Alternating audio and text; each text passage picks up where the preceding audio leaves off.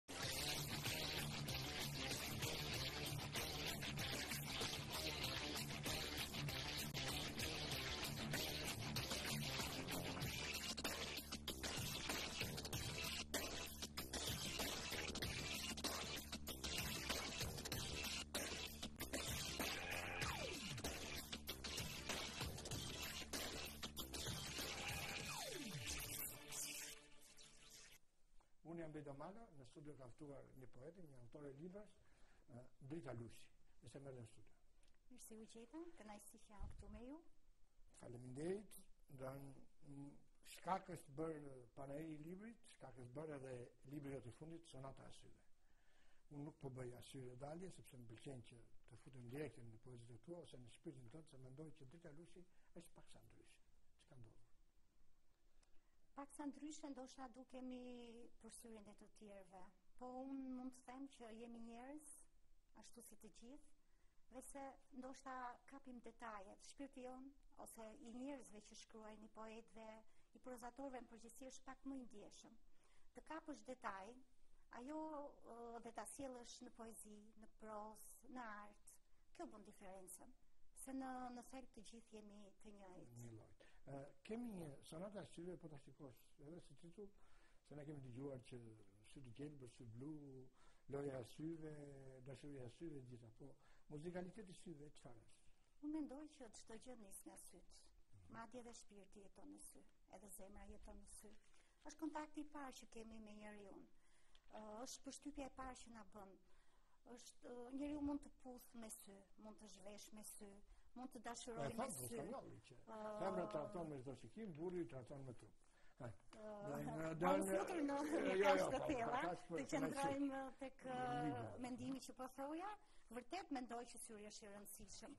Syri luan muzikë, syri udhëton vete në vende që nuk i arrin dot ti prekësh me këmbë pra, së bashku me të gjitha këto botën e syve ke edhe në libër ti vetë je një vajzë sygjelbër plus kësaj një farmaciste se po të shikosh dokumentarët te Explorer flasin gjithë për terapi të trurit operacion në tru operacion në sy operacion kështu përse kjo dashuri për poezinë ose ça i bashkon një farmaciste, një mjeke me libra. Farmacisti shëron fizikun, por është shumë e rëndësishme të shërosh shpirtin së pari dhe kjo bëhet nëpërmjet poezisë. Ka një lidhje ndoshta të padukshme dhe shumë njerëz edhe të tjerë dhe lexues ma kanë bërë këtë pyetje, se ç'lidhje ka të jesh një farmaciste t'i shërbesh pacientit dhe ndërkohë të shkruash. Po ku ka më bukur sesa të po, të arrish të shërosh, të shërosh fizikisht dhe shpirtërisht. Kemi shumë doktorë në botë. Madje më fal më i rëndë është shërimi i shpirtit sesa shërimi i fizikut. Ti thua shqetësim gruaje. Ndonjëherë më mbulon si një rrobe e bezdisshme pasiguria. Nëse më do dhe sot si dje, si mbrëm, nëse ke menduar për mua gjatë ditës, Nëse të gjitha fjalët më ke thënë me shpirt, nëse dashuri mua më ke bërë dhe mbrëmë, duke më pas pikërisht edhe në mendje, nëse do të më japësh puthjen siç e dua unë, nëse do të më thuash fjalët përkëdhelëse që më pëlqejnë, ndonjëherë më mendon, më mundon padurimi, malli, pasiguria, derisa shfaqet përballje, përballë meje ti, dhe e buzëqeshur dashuria. Dashuria, po. Dërëtë. është Nuk dua të them më shumë se sa aq sa lexove ti. Është bota e një gruaje. Mendoj që kështu mendon çdo grua. Gruaja e do dashurinë. Uh, gruaja kërkon ta duan, ta respektojnë, të jetë e vëmendshme. Mendoj që bota sillet rreth dashurisë, ndërsa uh, pikërisht më shumë rreth uh, rreth gruas. Të Pra mendoj që e mendon çdo çdo femër. Nuk e nuk e mundim, sepse vetë edhe krijesa është bashkimi midis dy një burrë dhe një gruaje. Ë të duash një grua, si s'është e lehtë të duash një grua, t'i falësh fjalë sysh dhe puthjes, ledha, hënë, komedi s'e di, kometa, kometa s'e di, të ulësh me duar. Duhet të dish të duash një grua, të marrësh një oaz mes shkretëtire, një oaz që kaltëron veç për ty, tokë dashurie. Uh, është e vërtetë, sepse shumica e lidhin uh, dashurinë vetëm uh, me instinktin, me anën, uh, me pasionin, por në fakt nëse i ke fituar shpirtin dhe mendjen uh, një gruaje, duhet t'i, t'i pushtosh mendjen. Nëse i ke pushtuar mendjen, atëherë e ke pushtuar të tërën. Është vërtet vështirë dhe nuk është vështirë ta arrish në dashuri, por më shumë duhet të dish ta mbash. Mm, Kjo është një postulat që e kërkojnë të gjithë edhe dihet. Ti thua mes natës brenda meje bën vend një hije. Një hije çmendurie luan me mua, një hije e hijshme poezi. Janë ato çastet kur të vijnë, sepse poezia është çast, të vjen natën, pa rënë në gjumë, në mëngjes, të del gjumi dhe çohesh e hedh me vrap në celular, ku mundesh në një copë letër. Këto janë çastet. Pra unë po e kaloj këtë poezi, këtë libër me poezi, për arsye sepse njerëzit do shkojnë panair dhe dihet që Vita Llusi nuk është se vjen për herë të parë, ka dhe libra të tjerë. Unë kam mundur të lexoj Dashuria çel në prill, disa pjesë të tregimeve të kësaj, çfarë janë këto tregime.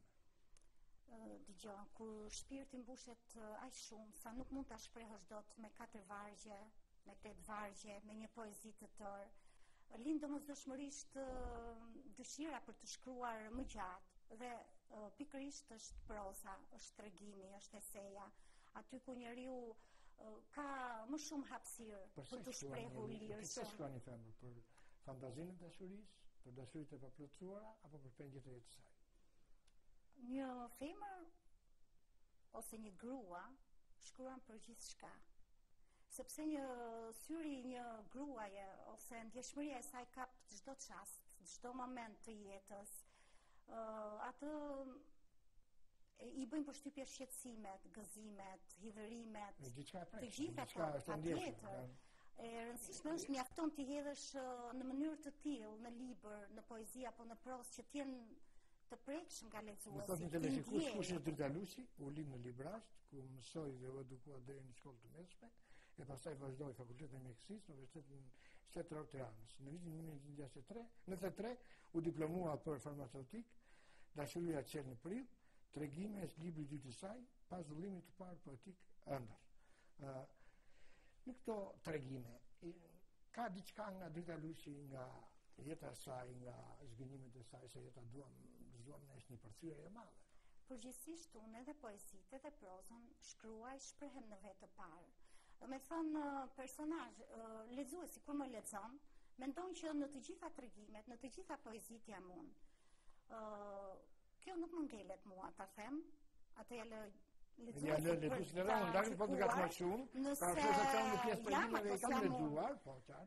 Por gjithsesi ka shumë pjesë nga drita në poezi, në prozë, ka ngjarje perceptime nga realiteti i përditshëm, nga komunikimet me njerëz, nga ngjarjet e treguara. Ti të mos japësh një fund atij tregimit tënd ose asaj që shkruan më ashtu. Po ta lesh që unë të mendoj që e gjeta dashurinë, të mendoj që u zhgënjeva nga dashuria, që të mendoj që ka mundësi për dashuri. Kjo është gjëja më e bukur, kur tregimi nuk jep një zgjidhje të gatshme në fund, sepse ç'u pa atëherë, nuk do kishte interes. Gjithmonë edhe mbasi mbaron tregimi duhet lënë e lirë fantazia e lexuesit, e se ç'do ketë ndodhur, kush ishte në këtë pa dale si mund të ketë vazhduar aq sa edhe më kanë pyetur moj po ky tregimi si vazhdon do ta vazhdosh prap kam një tregim të gjatë aty gati në limitet e një novele dhe më pëlqen të shkruaj në prozë më shumë se në poezi aq sa me të vërtetë më kanë pyetur do ta vazhdosh do jetë roman do ta bësh Kjo është gjë e bukur, kur asnjëherë nuk e jep zgjidhjen të gatshme ose përfundimin siç e pret lexuesi. Kam vënë re që dhe personazhi. Jep diçka të natyrshme. Shumë bukur. E kam vënë re që personazhet nuk i lë vetëm. Do të thotë dritën apo atë pak dritë që kemi në këto tregime ti vendos me gjithë shumë personazhe, vendos në raportet familjare, në raportet shoqërore, në raportet e largëta, në raportet e afërta, në situata të vështira, por edhe në gropat e jetës.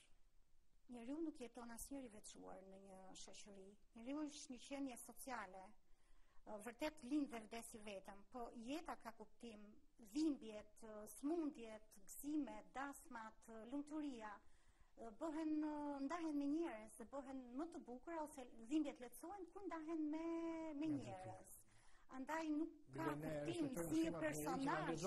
Ashtu si jeta që nuk kalohet e vetme, ashtu dhe personazhet nuk mund të jenë të vetëm.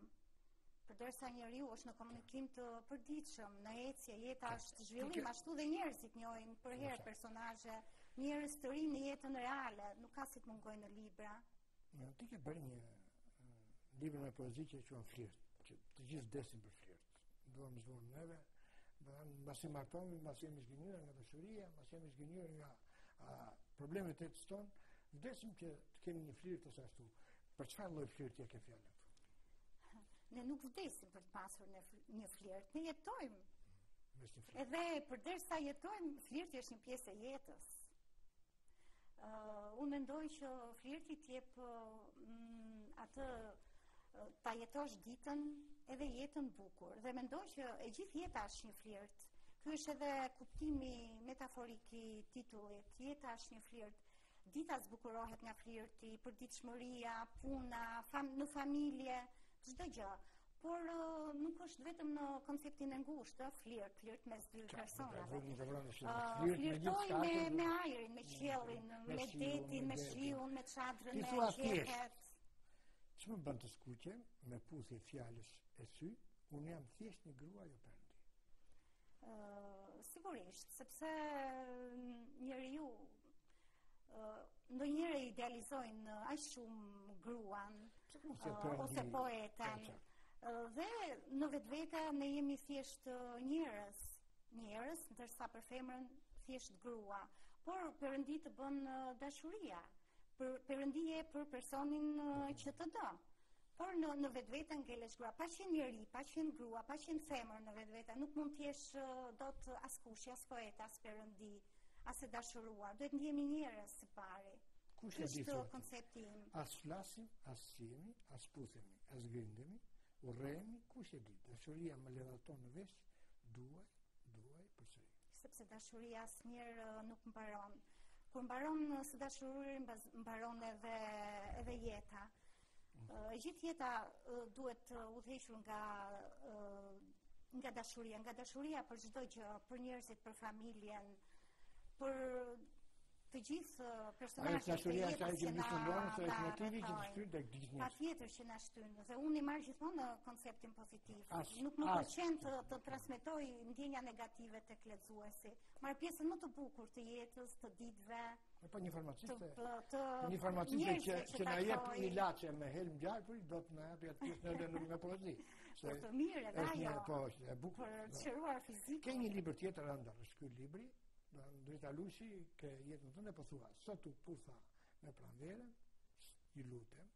Më tregoni, kur ta shihemi sërish bashkë, lojën tonë do ta kujtoni. Po, janë, ai është një libër, libri i mi parë, është si lindja e fëmijës së parë, me shumë uh, dhele përkujdesje, dashuri, ngelet i dashur për mua, dhe vetë nga titulli Andërr, është uh, zgjimi i një ëndrre që flinte dikur në sirtar, që me ndihmën e redaktorit të librit u bë i mundur të shihte botimin. Është shumë i dashur për mua. Është gëzimi që e shoh në çdo stinë, puthjen me pranverën. Me të gjitha stinët, po. edhe mbrapa pastaj fshihen të gjitha ato që i ndodh njeriut në jetë. Moment, sot mendojmë drejt të vim, shpirti natyrshëm çel lule të reja, edhe pse vjeshta ka ardhur rrëke ndjenjash, më pushtojnë, vërshojnë dejeve, e unë ndihem e mbytur, e mbytur dashurie për ty. Uh, Lexuesi im, po të gjej këtu gjen një njeri ideal, je për njeriun ideal, apo je për njeriun real. Idealizmi të... nuk mm. uh, ekziston asgjëkundi, unë jam realiste më shumë. Mendoj që duhet të jesh me këmbë në tokë, ta pranosh çdo gjë, uh, si të vjen, pa i, i, i idealizuar gjërat. Në pra, do në ti... Jam, jam realiste, me të gjitha, mundohem të jem realiste. Je për këtë rrymë të realizmit... Po, sigurisht dhe... Se njështë të katrojnë, realizmi socialist që njështë të me madhe, po realizmi... Jam realiste në, në atë çfarë perceptoj, çfarë shkruaj. Pavarësisht që dashurinë më pëlqen ta idealizoj, për atë po, sepse të gjithë femrat, të gjithë gratë mendoj që e idealizojnë ndryshe nga meshkujt. Ti ke idenë që meshkujt janë pa shpirt? Apo jo, kanë shpirt, po femrat janë më të ndjeshme. Ju femrat doni që neve të na keni skllevër, edhe në sjellje dhe në dhe në shpirt dhe në këto dhe doni që të pëlqejmë çdo gjë që bëni ju. E keni pozitë tuaj këtë? Jo, nuk ah. mashkulli nuk duhet parë si skllav. Një mashkull dhe një femër duhet shkojnë paralel. Uh, në ndjenja. Dashuria më perfekte është ajo kur të dy duan njëlloj. Por mendoj që kur nuk ekziston. Megjithatë më e rëndësishme është më mirë të duash se sa të duan. Ndryshe nga ajo formula që thonë të më duan se sa të dua. Nëse përmbanë... Më e rëndësishme është të ndjesh dashuri për ndavejnë. Shkrimtarët realistë thonë që nuk ka lumturi, po ka çaste lumturie, apo nuk ka dashuri, po ka çaste dashurie, nuk ka kënaqësi, po ka çaste kënaqësie. Ëh, vërtet lumturia është çaste, por unë mendoj që dhe nga e përditshmja, nga çdo gjë duhet të kapim të mirën, pozitiven.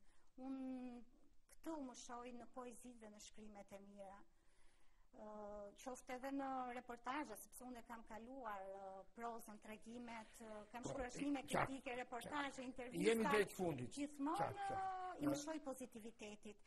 Kapjes së gjërave të mira nga çdo ditë që jetoj. Shumë ta korrigjojmë. Ky është edhe mesazhi im. E kam vënë re, do ta do ta lëmë lexues të gjithë. Kap çastin, kap ditën, momentin. Kap momentin e bukur sepse çdo ditë që ikën nuk rikthehet më. Ndaj ka thashë çfarë. Pa mbushur shpirtin. Si do ta bëjmë ne në kjo pyetje fund? Po si do ta bëjmë ne pyetjes që bëjnë të gjitha farmacistët kur kalon pragun e tyre thonë si je. Kur ajo dihet që unë kam ardhur në farmaci për të marrë ilaç. Gjithsesi njerëzillëku është uh, pjesë e çdo njeriu, aq më shumë një njeriu që ka kontakt me pacientë dhe me njerëz të smur, sepse fjala është gjysma e shërimit, pa marrë akoma uh, medikamentet. Medikamentet. Faleminderit për medikamentet që na dhe, ti medikamentet edhe poezinë. Të nderuar teleshikues, ishim në studio me Dita Lusin, me këtë poete, e cila për rritës vështetës, medikament shërues, ka dhe poezinë e saj, ka dhe prozën e saj, që është shumë e lidhur ngushtë me këtë realitet dhe me këtë realizm shqiptar. Faleminderit për vëmendjen.